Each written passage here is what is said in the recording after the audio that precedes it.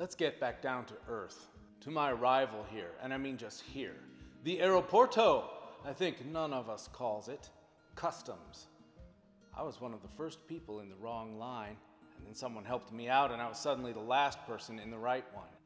And then you've done this through the zigzags, kicking the suitcase, and finally up to the welcome sign and bulletproof glass.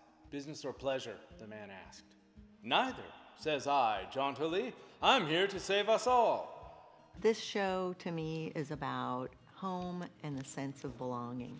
I think that's what I want people to take away from it because it's about a person who didn't feel like they particularly belonged at home, so they came to the United States and they still haven't really found their their niche yet. The biggest challenge maybe for me is just knowing that I can't get a cue from anything or anyone else. So I have to cue myself throughout the show and um, I have to react to the audience directly and interact with them as opposed to other actors on stage while ignoring the audience. So that would be the biggest challenge. I think the biggest thing that we both found challenging about it was that it's just a completely different type of rehearsal process. It's not go stand over there and now sit down and you know talk to that person. I mean it's all about just sort of organic movement and just kind of tweaking it here and there.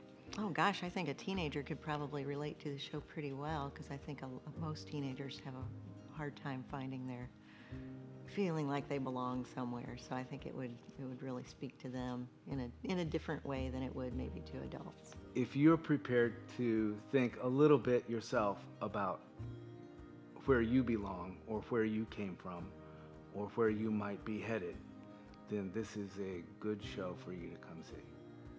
I don't know why international travel puts me in such a puckish mood. Maybe it's the free coffee or the lack of sleep and oxygen. Maybe it's a little hopeless glimmer of hope that I might somehow, with a change of scenery, change. Or new bacteria, or just it's exciting.